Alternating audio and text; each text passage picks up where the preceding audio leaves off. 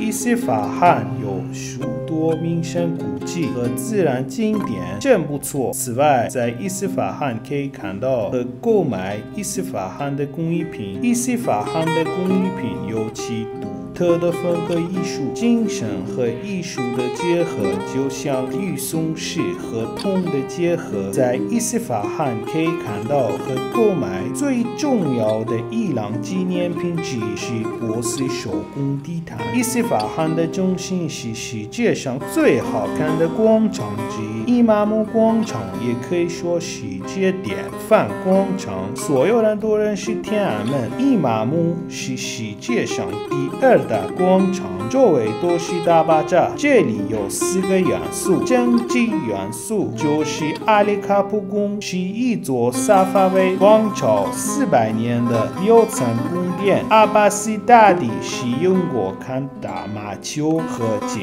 阅军队。宗教元素是伊玛目清真寺，革命后被改名是建于十六世纪早期。主要看点是穹顶和造藻井，墙面上极其复杂多变的对称几何花纹。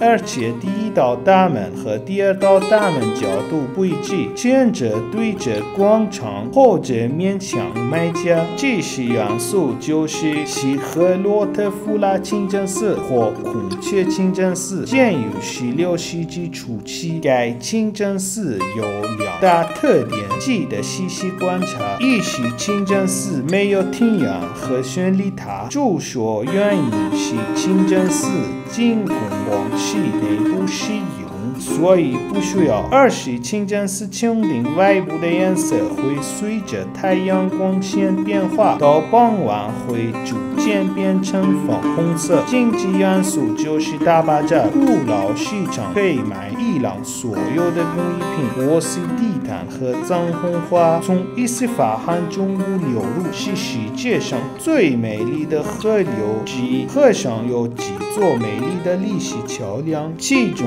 最美丽的有三十三孔桥和哈九桥，在这里自然与历史交织在一起。通过移动一个塔，另一个塔也开始晃动，这是非常奇怪和令人惊奇的。伊斯法罕的摇晃塔，自己来试一下吧。我们在伊斯法罕亚美尼亚人的特处，有伊朗最好看、最美丽的大教堂。欢迎我们中国朋友们来到伊斯法罕，来到伊朗，欢迎你们。